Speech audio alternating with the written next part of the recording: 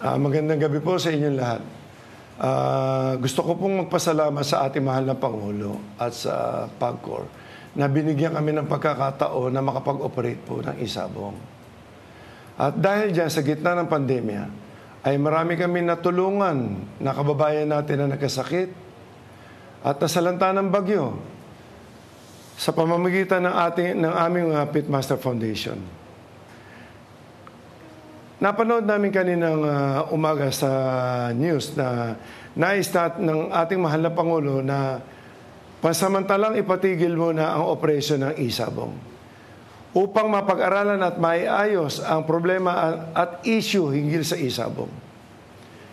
Kami po sa Pitmaster ay uh, sumusunod sa tawag na ating Pangulo at kusa kaming titigil ngayong gabi kahit wala pa ang kautosan ng, ng PAGCOR.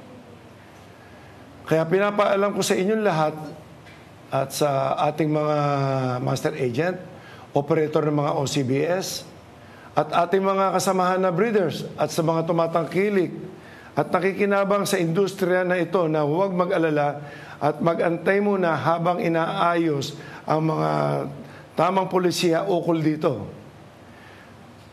Maraming maraming po salamat sa inyong lahat at magandang gabi po.